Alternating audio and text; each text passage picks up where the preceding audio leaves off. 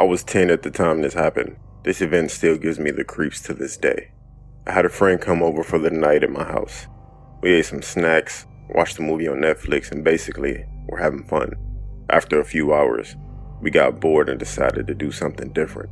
My friend suggested that we should take two of my bikes and go explore the abandoned house nearby.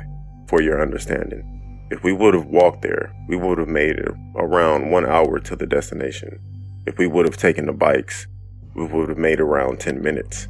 So we grabbed the bikes and rode till we reached the road to the house. We left our bikes at the entrance of the road.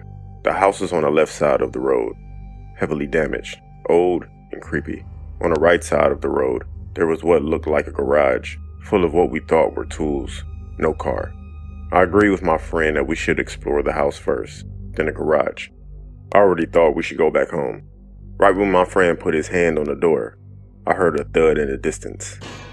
It was like someone or something hit a metallic plate with a pipe or a big branch. I asked my friend, Did you hear that? My friend said, Hear what? I'll let it pass. I was thinking probably my brain was tricking me. Plus, I was a bit sleepy. The door to the house was old and creaky. I'll never forget the moment my brain processed the smell coming from the house. It smelled like rotten eggs, alcohol, and old unused meat. At this point, it was pitch black outside. We were using the flashlights from our phones to see in the dark. It was hard to see. My brain was making images that seemed real, but they were not. The atmosphere in the house was like an ancient place, but at the same time, it felt cursed. We saw a kitchen, living room, a bathroom with a purple mattress that covered the entrance of the room, and some stairs that were probably leading to the basement. Not even a candle was inside. The smell was coming from the kitchen, but also from upstairs. A hallway separated the living room and the kitchen. It was straight and as long as the ground floor. Firstly, we checked the living room because it was nearest us. It was almost connected to the kitchen. We pointed our flashlights at the floor and it was covered by a purple carpet with small black dots on it. There wasn't really anything special in the living room except for a lamp. It had a note on it that said, I'll be back soon. Prepare the sauce. With a smiley face at the end. The paper looked old, but the ink was fresh. Somehow, we didn't give it much attention. Big mistake. We went to the kitchen, opened the cupboards, and saw food bread, some salad, tomatoes, some kind of meat, what we thought to be steak, and it was bloody. The food seemed fresh, but the smell that got to us was mostly coming from the steak. We weren't that scared before, but the chills sneaked into us. I told my friend that we should return home, but he was a jackass and wanted to continue. Although I didn't want to explore anymore, I didn't have a problem with that, but two particular things made me want to go home. The idea of a crazy and dangerous homeless person that could have lived in there, in the basement. The walls from the start of the basement stairs were made out of concrete and nothing else. My friend was walking toward the basement. I grabbed him by his arm and told him I don't want to go down there. After one minute, I convinced him that we don't need to explore that part of the house, and we moved on. Behind the purple mattress in the bathroom, there were clothes thrown everywhere pants, shirts, hoodies but the weirdest thing was a bathtub. A mannequin with green dyed hair. I told my friend that we should get the fuck out of here. That's when we heard a scream from outside, a scream that was coming from a man. We both ran to a window to see what was going on, and what I saw marked me for life. Outside was a person with a clown mask that was dragging a dead body with him. He was heading for a garage. We both whispered to each other. What should we do? I don't know. I think there were two of them. The other one must be in the garage. As we were talking, the man in the clown mask turned on the lights in the garage. At that point, we could have died of fear. What we saw as tools were actually tools for dismantling a human body. The clown picked up the tool and began to scoop the man's parts out. I almost puked. We called the police thinking no one can hear us. They said to stay hidden until they arrived. We ran upstairs with no idea what was waiting for us there. Upstairs, there were four rooms a bathroom, and three bedrooms. We went into the first one that had a window. After minutes felt like hours, we heard the sirens of the police cars. I was so relieved when something happened.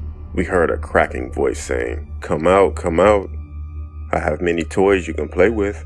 After that, we heard the door opening. Not from our room, from one of the other three.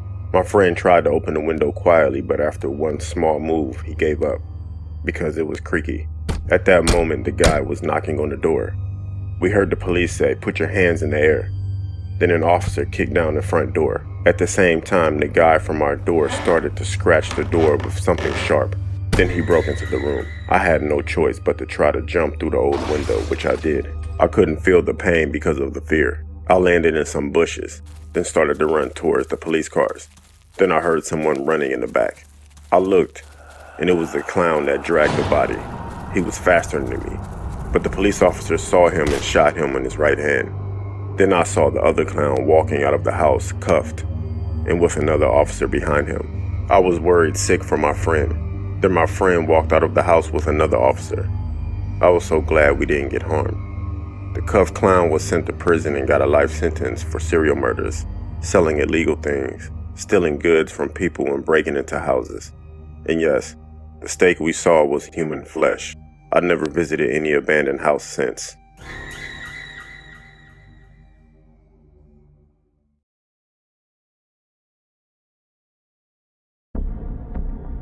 This incident took place in my old house in the winter of 2013. Me being 12 years old. My mom had gone on a vacation to visit her friend in Bakersfield, California, leaving us home alone. My sister Aurora, who was the oldest at 21, will be watching us, as well as my brother Austin, 19 back then. Austin and Aurora had come back from the local gas station to grab some snacks, hot dogs, hamburgers, slushies, candy, and chips, and as well as Austin getting a pizza from Little Caesars. As we were going to watch a football game that night, it was December 15th, 2013, when it was pitch black out. The game being either the third or fourth quarter. Even over the commentator and the loud sounds coming from the TV, we could hear a faint yet very slight scratching sound coming from the garage. It sounded like our cats were scratching the wood on the garage, or maybe one of the dogs. Addison, my little sister, was looking around for the dogs and cats when she found them in the basement all resting in either our billiard room or the two bedrooms we had down there. Addison came upstairs and told us, and we were pretty reasonably shaken.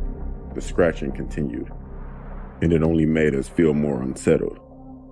Austin and Aurora looked pretty shaken when we heard a loud collapsing sound in the garage. It sounded like someone climbed up the ladder to our storage area went through all of our boxes, and shuffled them around. It was when it hit us. Bailey, my other sister, turned off the TV, while Allie, another one of my sisters, went to go turn off the lights. Addison hid in one of my basement bedrooms. Allie hid behind the china cabinet in our other basement bedroom. I was hiding under my bed. Aurora and Bailey were hiding behind my parents' bed. Then someone opened the door to our house and slammed it shut. It was a man. The man said in a gruff voice, walking into the bedrooms Aurora, Austin, Allie, Bailey, Elijah, Addison, I would like to give you some candy. He also said our full names at one point, and somehow knew our middle names. The man started pounding on the three bedroom doors and screaming that he had a bunch of candy canes and he just wanted to spread the Christmas cheer. Austin jumped on the man from behind, and he actually had a huge kitchen knife. Austin managed to stop him from stabbing or cutting him. The cops arrived a minute later, and the man was still in Austin's possession. Austin had left him for maybe 20 seconds, and when he went back in the hallway, the man was gone. We heard the front door shut, and Austin never caught the guy. Unfortunately, however, the story doesn't even end yet. One day, when I was 15, I was walking home from school with Addison and Bailey. Aurora and Austin and Allie had all moved out by then. I opened the front door to see everything shifted around, and the whole house was trashed. We found this incredibly odd and even more that it was a terrible foul smell coming from our basement. And five of our dogs, Rocky, Roscoe, Petey, Coco, and Bingo, were all clawing at the basement door. I opened the door since Rocky, Coco, Bingo were all German Shepherds. They weren't scared as Petey and Roscoe were golden retrievers and they were petrified. Rocky went down first. He was acting very brave and then looked in the basement bedrooms and started barking. Our basement bedrooms are like this. One is off in the billiard room, and there's a door at the back of the room leading to another basement bedroom. One was our guest room slash office, and the other room was a storage room that was formerly our playroom. But Rocky was actually barking into our storage room. Bailey and Addison were upstairs cowering, while me and Rocky were downstairs in the storage room scavenging around the room. I turned on the fan and the light. Then I hear, Elijah, come down here, please. I jumped and the man from that one night in December stood up with a knife. Rocky pinned the guy to the floor biting him profusely. I screamed for Addison or Bailey to call the cops, and they arrived in five minutes while Rocky was on top of the man. He was arrested and had been responsible for several crimes. I had forgotten about both incidents for a while, and we actually moved out of that house a few days ago, which was June 11, 2020. And when we were actually looking at the house for a last look, Bailey looked at the wall behind the china cabinet in the guest room and screamed. There was old carved blood into the wall that said, I will come back. I will forever be grateful toward Rocky and Austin, both saving our lives. And Coco unfortunately died in August 2017 due to lymphoma. This incident will forever haunt me, and I hope we never see that man again. And I fear he will come to our new house. And he was sentenced to 12 years.